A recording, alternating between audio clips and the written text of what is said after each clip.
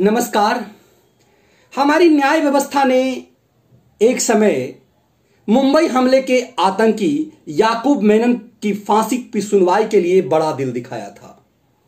देर रात supreme court ने सुनवाई की, लगभग पूरी रात सुनवाई चलती रही और अंत में फैसला आया। यह बात अलग है कि याकूब मेनन की फांसी पर रोक की साजिश सफल नहीं हुई कोर्ट फिक्सरों की। लेकिन उसी ढंग का एक बड़ा दिल दिखाया है इलाहाबाद हाई कोर्ट ने। होली की पूर्व संध्या पर एक बड़ा फैसला आया है। आप यूँ भी मान सकते हैं कि क्या हाईकोर्ट ने कहा है कि बुरा ना मानो होली है? क्योंकि हाईकोर्ट ने जो आदेश दिए हैं, उसके मुताबिक, जिसे कानून के मुताबिक दंगाई माना जा रहा है, जिसे उत्तर प्रदेश सरकार ने माना फैक्ट के आधार पे सीसीटीवी कैमरे के आधार पे वीडियोस जो आए हैं उसके आधार पे ऑडियो भाषणबाजी के आधार पे कि कुछ लोग प्रदेश में दंगा करवाना चाहते थे। कुछ लोग सीए के नाम पर हिंदू मुस्लिम दंगा करवाए और जिसके कारण उत्तर प्रदेश में करोड़ों की प्रॉपर्टी नष्ट हुई। उसी मामले में योगी सरकार ने 88 लाख रुपए की रिकवरी के लिए संतावन लोगों का जो को जो नामजद किया था उसमें स, उसमें संतावन लोगों की लखनऊ के अलग अलग जब चौक चौराहों पर पोस्टर लगे थे। ठीक उसी तरह से जैसे अपराधियों की पोस्टर लगाई जाती है, इनकी पहचान के लिए इनके ऊपर आदेश था कि इन्हें इनसे इनसे रिकवरी की ज़रूरत है, क्योंकि योगी सरकार सुप्रीम कोर्ट के उस आदेश का पालन कर रही थी, जिसके मुताबिक यदि कोई दंगा फसाद करता है, सार्वजनिक संपत्ति को नष्ट करता है, किसी हड़ताल के नाम पर, किसी प्रोटेस्ट के नाम पर पब्लिक प्रॉपर्टी नष्ट करता है तो उससे उसकी वसूली कराई जाएगी। सुप्रीम कोर्ट के उसी आदेश के मुताबिक योगी सरकार ने दंगाइयों से वसूली का एक एक नया उदाहरण पेश किया था।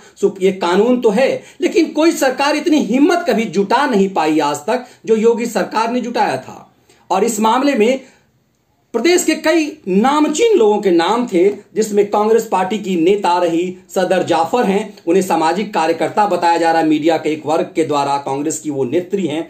ऐसा दारो दारापुरी हैं, जो रिटायर्ड आईपीएस हैं, वामपंथ से जुड़े हुए हैं और इनके लिए वामपंथी पत्रकारों वामपंथ बिरादरी में बड़ा नाम है इनका। ऐसे ही कुछ लोग हैं, कुछ इमाम हैं, जिनके बारे में कहा जाता है कि मस्जिद से इन्होंने बहुत भड़काऊ भाषण दिए जिसके कारण दंगा फसाद हुई। उत्तर प्रदेश सरकार चाहती थी कि इस मामले में सुनवाई, इस मामले में जो जिन लोगों के ऊपर आरोप है, उनसे वसूली कर लिया जाए। इसीलिए इनके चौक चौराहे पर पोस्टर लगाए गए। ठीक इसी तरह से जैसे अपराधियों के लिए मुनादी पिटवाने का आदेश कोर्ट जारी करती है, जैसे कुर्की का आदेश कोर्ट जारी करती है। लेकिन अब की बार नामचीन लोग थे तो इलाहाबाद हाईकोर्ट के पास भी शायद दबाव रहा होगा। तो माननीय न्यायाधीश ने एक आदेश दिया और माननीय न्यायाधीश उत्तर प्रदेश इलाहाबाद हाईकोर्ट के जो मुख्य न्यायाधीश गोविंद माथुर हैं, उनकी अदालत की तरफ़ से होली की पूर्व संध्या पर एक फैसला आया। अदालत की छुट्टी चल रही थी होली की। लेकिन चूँकि मामला ऐसे ऐसे नामचीन लोगों का था, इस तरह के यदि सामान्य दंगाई होते तो क्या अदालत इसी ढंग के फैसले देती? इसी ढंग से जल्दबाजी में सुनाई क्या हमारी अदालतों के पास इतना वक्त होता है? यदि इतना वक्त है हमारी अदालतों के पास तो इतने मामले क्यों पेंडिंग पड़े हुए हैं? लाखों लाख की संख्या में तो इलाहाबाद हाईकोर्ट में कई मैटर हैं। इलाहाबाद हाईकोर्ट के अंदर में जितनी हाई अदालतें हैं, उसके अंदर है। तो क्या इतना बड़ा दिल अदालत आम आदमी के लिए दिखाती है, जो दंगा में नामजद दंगाइयों के लिए जो दिखाया गया? हाईकोर्ट ने बहुत बड़ी बड़ी बातें की है। हाईकोर्ट ने अपने आदेश में कहा है कि उन तमाम लोगों के सामाजिक सम्मान का मसला है। सार्वजनिक स्थल पर बिना पूछे किसी के फ़ोटो नहीं लगाए जा सकते हैं।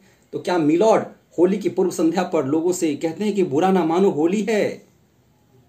क्या ये आम आदमी के लिए भी है कि हर अपराधी से क्या पूछा जाएगा कि थाने में तुम्हारी तस्वीर लगाई जाए या ना लगाई जाए? क्या अब यह नई परंपरा होली की पूर्व संध्या पर अदालत से मिली है कि अब किसी से पूछा जाएगा कि आपका अपराध आपके ऊपर है? क्या आपके ऊपर एफआईआर की जाए या नहीं की जाए? क्या एक नई परंपरा इस ढंग से शुरू होगी? क्योंकि अदालत, जब कभी भी मैंने अदालत की सुनवाई की, कोर्ट के ऑर्डर पढ़े तो हमेशा आमतौर पे जजेज ये लिखते रहे हैं कि ये फैसला किसी फला अपराधी को सजा देने भर का नहीं है।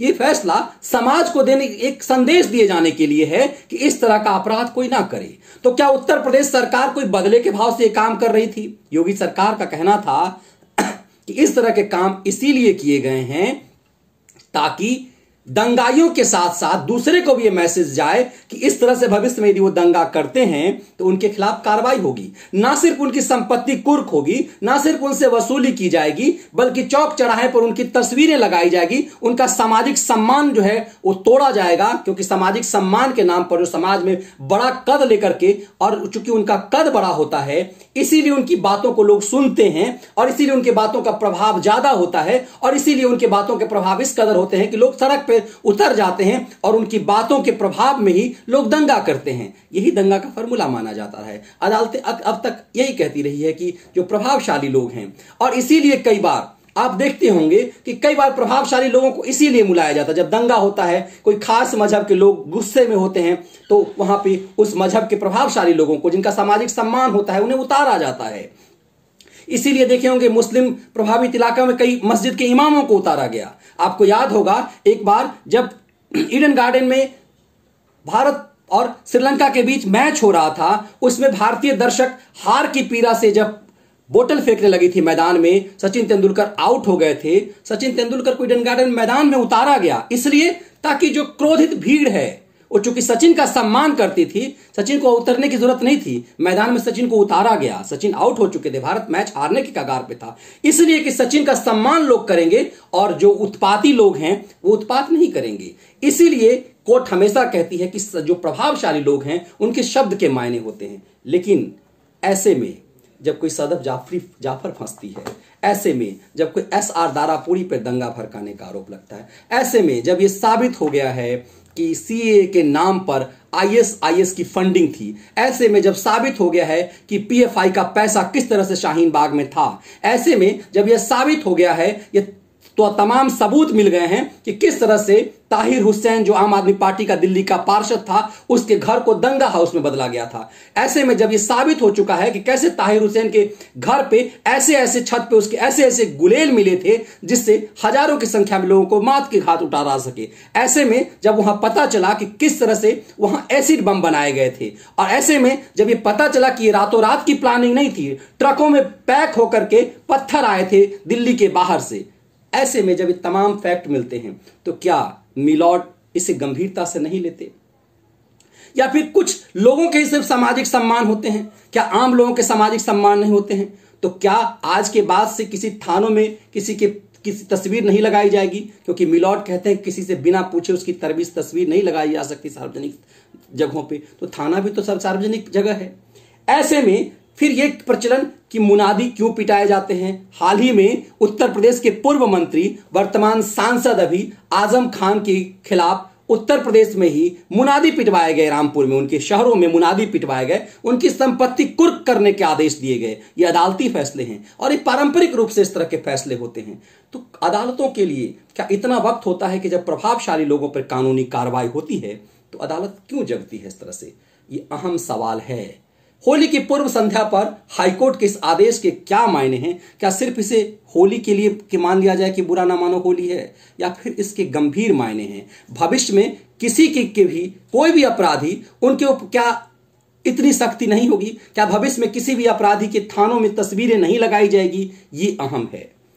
इलाहाबाद हाईकोर्ट ने एक कायदे से सोचिए तो एक मिसाल पेश कर दिया है। और हाईकोर्ट के आदेश लोअर कोर्ट के लिए एक तरह से एक पैगाम होता है, एक संदेश होता है, संविधान की कॉपी की तरह होती है। और ऐसे ही इसी ढंग के आदेश पर अदालतें आगे की, आगे के फैसले करती हैं।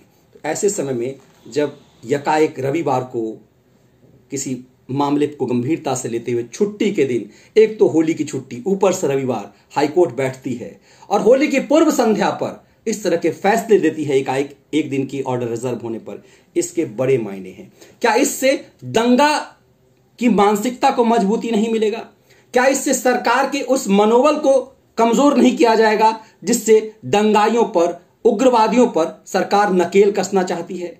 एक लोकतांत्रिक व्यवस्था में लोक न्यायपालिका की बड़ी भूमिका होती है। लेकिन एक लोकतांत्रिक व्यवस्था में सवाल पूछने का अधिकार न्यायालय से है, उनके जजमेंट पर है कि क्या हमारे न्यायाधीश इसे गंभीरता से नहीं लेते कि किसी का सामाजिक अधिकार तो है कि उसका सामाजिक सम्मान होना चाहिए।